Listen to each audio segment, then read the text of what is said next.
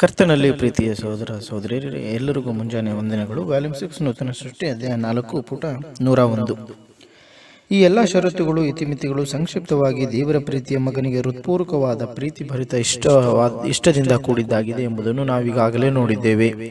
ಆದರೆ ಇಷ್ಟವನ್ನು ಹೆಚ್ಚು ನಿರ್ದಿಷ್ಟವಾಗಿ ನಾವು ವಿಶ್ಲೇಷಿಸುವಾಗ ಅಪೋಸ್ತರನಾದ ಪೇತ್ರನು ಹೇಳುವಂತೆ ನಾವು ಪವಿತ್ರಾತ್ಮದ ಆತ್ಮನ ಫಲಗಳನ್ನು ಹೊಂದಿಕೊಂಡಿರಬೇಕು.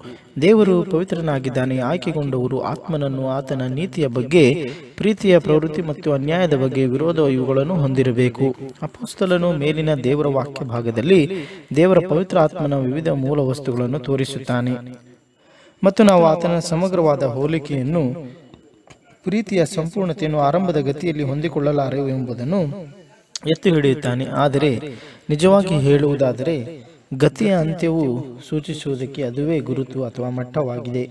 ಪ್ರೀತಿ ಎಂದರೆ ಸಾಮಾನ್ಯ ಅರ್ಥದಲ್ಲಿ ನಿಜವಾಗಿಯೂ ಪ್ರೀತಿಯ ಲಕ್ಷಣಗಳುಗಳ ಭಾಗವಾದ ಇವೆಲ್ಲ ಅಂಶಗಳನ್ನು ಒಳಗೊಂಡಿದೆ ಸಾಧುತ, ಸೌಮ್ಯತೆ, ಸಹೋದರ ಸ್ನೇಹ, ದೈವತ್ವ, ಇವುಗಳೆಲ್ಲವೂ ಪ್ರೀತಿಯ ಮೂಲ ವಸ್ತುಗಳಾಗಿವೆ. ದೇವರಾತ್ಮನ ಈ ಫಲಗಳಿಗೆ ಕೆಳಕಂಡಂತೆ ಅರ್ಥ ವಿವರಣೆಯನ್ನು ನೀಡಬಹುದೆಂದು ಒಬ್ಬರು ಸಲಹೆ ಮಾಡಿದ್ದಾನೆ, ಮಾಡಿದ್ದಾರೆ.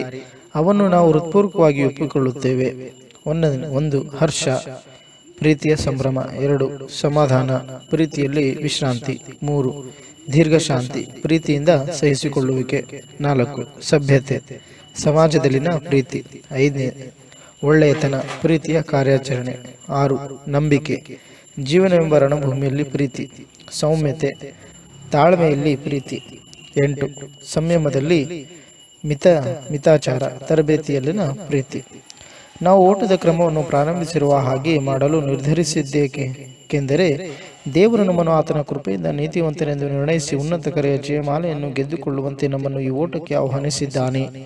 ನಾವು ನಮ್ಮ ಈ ಲೋಕದ ಆಕಾಂಕ್ಷೆಗಳ ಭಾರ ಮತ್ತು ಅಡೆತಡೆಗಳನ್ನು ಬದಿಗಿರಿಸಿ ನಮ್ಮ ಚಿತ್ತವನ್ನು ದೇವರಿಗೆ ಪ್ರತಿಷ್ಠಪಡಿಸಿಕೊಂಡವರಾಗಿ ಒಂದು ಕೆಲಸವನ್ನು ಮಾಡು ಎಂಬ ದೃಢ ನಿರ್ಧಾರ ಕೈಗೊಳ್ಳಬೇಕಾಗುತ್ತದೆ. ಅದೇನೆಂದರೆ ದೇವರು ನಮಗೆ ನೀಡ ಬಯಸಿರುವ ಆಶೀರ್ವಾದವನ್ನು ನಾವು ಬಯಸಬೇಕು ಮತ್ತು ಆತನ ಕೃಪೆಯಿಂದ ಅವುಗಳನ್ನು ಪಡೆಕೊಳ್ಳಬೇಕು. ಅದೇ ಸಮಯದಲ್ಲಿ ನಾವು ಸುಲಭವಾಗಿ ನಮ್ಮಲ್ಲಿ ಮನೆ ಮಾಡಿರುವ ಪಾಪಗಳು ಹಾಗೆಯೇ ಇರಲಿ, ನಮ್ಮ ಪಾಪದ ಓಟದ ಮೈದಾನದಲ್ಲಿರುವ ಇತರ ಪಾಪಗಳಿಗೆ ಸಮವಾಗಿದ್ದರೂ ಇಲ್ಲವಾದರೂ ಅವನ್ನು ತೋರಬಿಡುತ್ತೇವೆ ಮತ್ತು ಈ ಓಟದಲ್ಲಿ ನಾವು ಪ್ರಾಮಾಣಿಕತೆಯಿಂದ ಭಾಗವಹಿಸುತ್ತೇವೆಂದು ತೀರ್ಮಾನಿಸಬೇಕು. ಈ ಓಟದ ಕ್ರಮವನ್ನು ಪ್ರವೇಶಿಸುವುದು ನಮ್ಮ ಪ್ರತಿಷ್ಠೆಯೊಂದಿಗೆ ಸರಿಹೊಂದುತ್ತದೆ.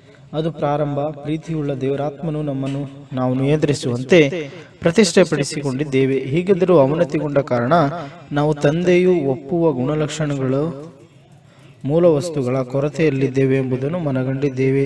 ಹೀಗಿದ್ದಾಗಿಯೂ ನಾವು ಓಡುತ್ತೇವೆ ಮತ್ತು ಮಗನ ಸ್ವರೂಪದ ಗುಣಲಕ್ಷಣಗಳನ್ನು ಪಡೆಕೊಳ್ಳಲು ಪಟ್ಟ ಹಿಡಿದು ಪ್ರಯತ್ನಿಸುತ್ತೇವೆ.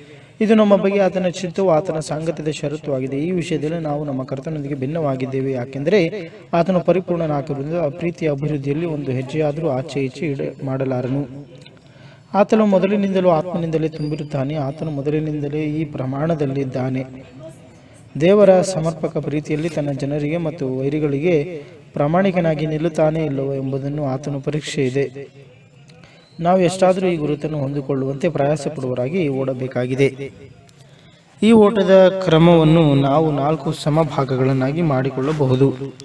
ಮೊದಲನೆಯ ಕಾಲು ಭಾಗದಲ್ಲಿ ನಾವು ಪ್ರೀತಿಯ ದೈವಿಕತೆಯ ಅಗತ್ಯತೆಯನ್ನು ಗ್ರಹಿಸುತ್ತೇವೆ ಮತ್ತು ಅದನ್ನು ಹೊಂದಿಕೊಳ್ಳ ಬಯಸುತ್ತೇವೆ. ಆದರೆ ಅದನ್ನು ಕರ್ತವ್ಯದ ದೃಷ್ಟಿಕೋನದಿಂದ ಮಾತ್ರವೇ ತಿಳಿದುಕೊಳ್ಳುತ್ತೇವೆ. ನಾವು ದೇವರ ಕಡೆಗೆ ಕರ್ತವ್ಯಪರವಾದ ಪ್ರೀತಿಯನ್ನು ಅನುಭವ ಪಡೆ ಮಾಡುತ್ತೇವೆ. ಯಾಕೆಂದರೆ ನಮ್ಮ ಸೃಷ್ಟಿಕರ್ತನಾಗಿ ಆತನಿಗೆ ನಮ್ಮ ವಿಧೇಯತ್ವವನ್ನು, ಪ್ರೀತಿಯನ್ನು ಮತ್ತು ನಿಷ್ಠೆಯನ್ನು ಹಕ್ಕಿನಿಂದ ಕೇಳುವ ಅಧಿಕಾರ ಆತನಿಗಿದೆ. ನಮ್ಮ ಕರ್ತನಾದ ಯೇಸುವಿನ ಬಗ್ಗೆಯೂ ಕರ್ತವ್ಯಪರವಾದ ಪ್ರೀತಿ ಇದೆ. ಯಾಕೆಂದರೆ ಆತನು ನಮ್ಮನ್ನು ಪ್ರೀತಿಸುತ್ತಾನೆ ಮತ್ತು ಅದಕ್ಕೆ ಬದಲಾಗಿ ಆತನು ನಮ್ಮನ್ನು ಪ್ರೀತಿಸುವುದು ನ್ಯಾಯಬದ್ಧವಾಗಿದೆ. ಅದರಂತೆ ನಾವು ನಮ್ಮ ಸಂಗಡಿಗರನ್ನು ಪ್ರೀತಿಸಬೇಕಾಗಿರುವುದು ದೇವರ ಚಿತ್ತವೇ ಆಗಿದೆ.